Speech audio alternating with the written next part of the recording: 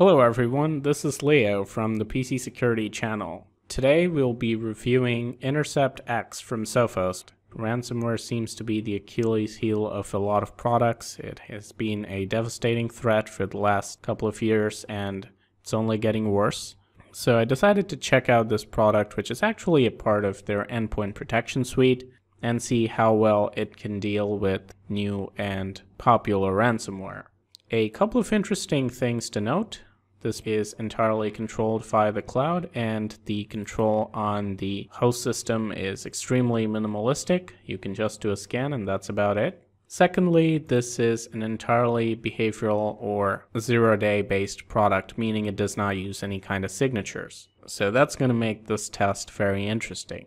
I have a couple of folders here. Now the new folder contains a couple of samples which are really low detection ratio, very new, not well known at all, while the selected ransomware folder includes some of the most popular ransomware samples of the last year or so.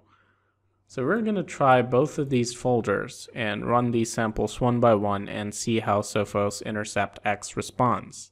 Now I think I'm going to start with the new folder because that's what most people are curious about and this is where traditional products usually fail to protect you. So let's give it a go.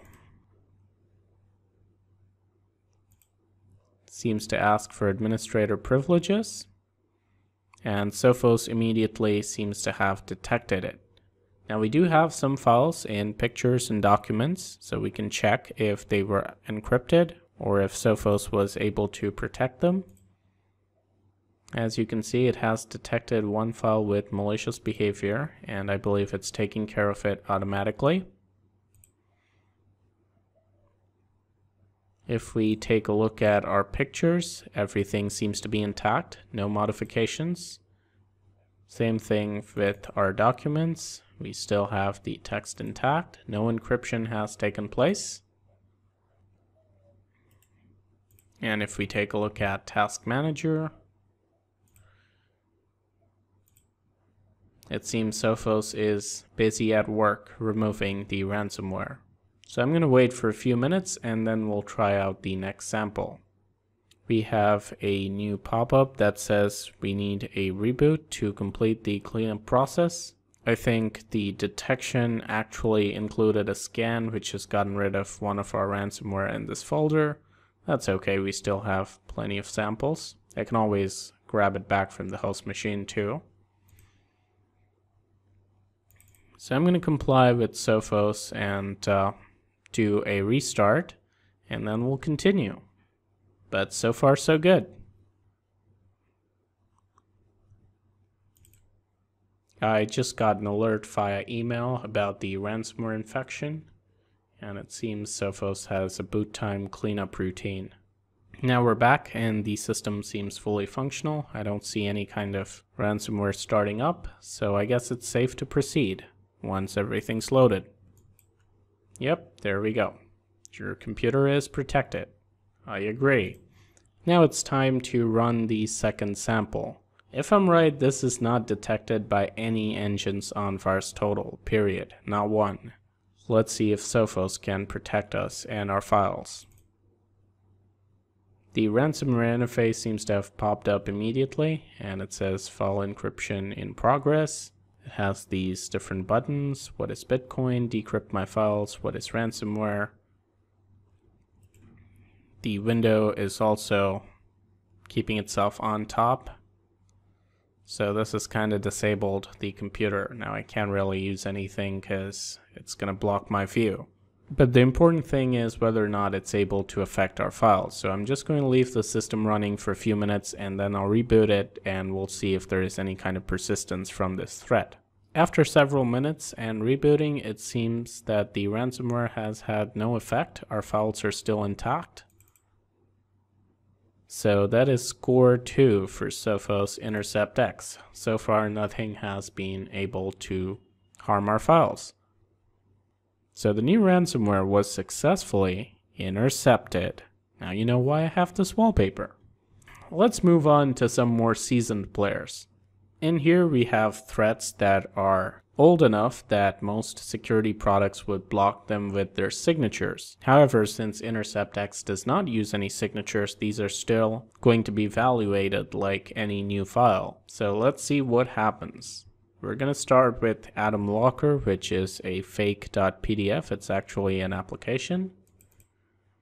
This one seems to have been immediately picked up. And if we look in events, we can see that CallerCheck exploit was prevented. So this was part of the exploit mitigation. The cleaning process is over. No restart required this time. So that's great. Let's move on to Cerber, which is a very resilient ransomware. A lot of products seem to have problems with this. Let's see if Sophos can intercept it. Once again, the exploit mitigation is able to pick this up. And I believe this blocks execution very early on, meaning that the ransomware doesn't even get a chance to load up in memory. And now it's taken care of. It's disappeared. So Cerber is out of here. Let's try GoldenEye, which is again a very infamous threat. Picked up again. I'm quite impressed so far. It seems GoldenEye was actually able to create a shortcut on the desktop. Let's see if any of our other files are affected though. I doubt if they are from the looks of it because GoldenEye typically reboots the system. And no, they're not. Sophos has taken care of that one too. So all it was able to do was create this text file on our desktop which needless to say isn't a problem. Now let's move on to Locky. This is the direct executable and not the JS downloader. Okay, so Locky doesn't seem to be working. Maybe its uh, command and control servers are down. Maybe I just picked up the wrong sample. Let's try deleting it. Yep, it deletes it so. Now let's try mole ransomware, which is a fairly new threat. We're seeing new variants of this, which are not picked up by a lot of signatures. However, it does seem to have been picked up again by InterceptX. We have a few more threats to go, but don't worry, I saved the best for the last so you don't get bored. Alright, Mole wasn't able to dig its hole. Instead, it found its way into the rabbit hole to hell that is out of this system. I'm quite thankful for that. Now let's try Petya. This is the green version. And again, we have a pop-up from InterceptX. This is going much smoother than I initially anticipated. Next up is Shade, encryptor from Russia. Whoa, it seems like Sophos got rid of that too. Now I'm gonna try Spora which has a pretty sophisticated encryption process.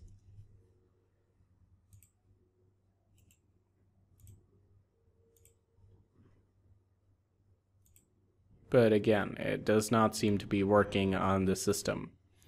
Now we have VirLocker and WannaCry, which is the recent epidemic. Let's try VirLocker first. Again, exploit mitigation, gets a hold of that one. And finally, WannaCry.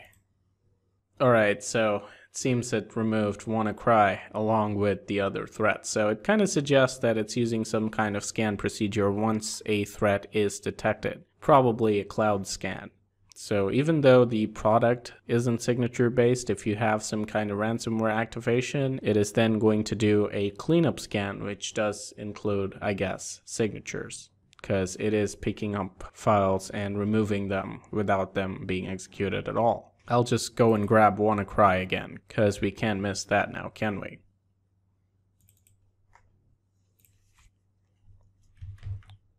Let's just move it to the desktop and execute it.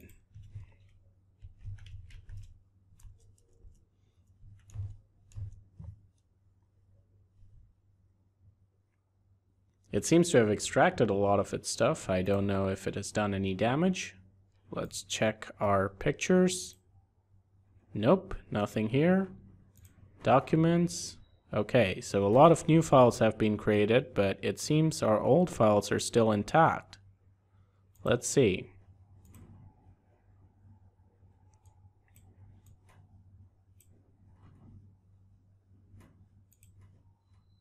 The ransomware window does pop up. However, our files are not affected, so that's really good. It seems the ransomware was allowed to create whatever new files it needed to, but it wasn't able to modify or delete or take over the older files that we had. So that kind of renders the ransomware useless because you can just remove it with any regular scanner and you will have a fully working machine with all your files. That takes the ransom out of the ransomware. So overall, I'm really happy with the result. For a specialized product, it did its job really well. It seems to do what it advertises.